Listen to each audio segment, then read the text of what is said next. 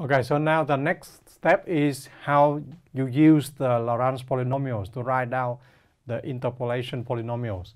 So now, you know, I mean, you just remember the property that the LJ xi uh, is, is 1 if i equal j and equal 0 if i different from j. And now if I define a polynomial px equal sum of f of xj, lj, j from 0 to n, then you will see that this is the interpolation polynomials. Because if I put in p xj, well, suppose I put, this one should be j, yeah?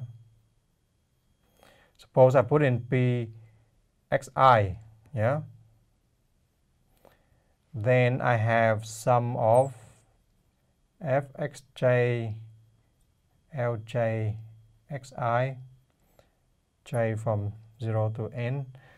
And remember that this one equal 1 only when i equal j and equal 0 when i different from j. So this one will reduce to only fxi. And this is true for all xi. So, so then therefore this polynomial interpolates the data. And now we use it for this problem. So now the interpolation polynomials is just px equal f0 L0 plus F1 L1 plus F2 L2 plus F3 L3. So the L L3 L2 L1 L0 are defined in the previous uh, problem.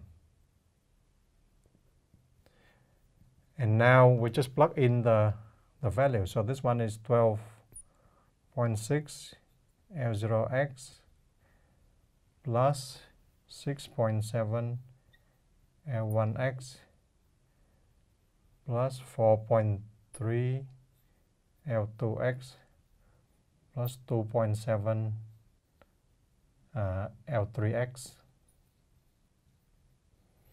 and this is the interpolation polynomials.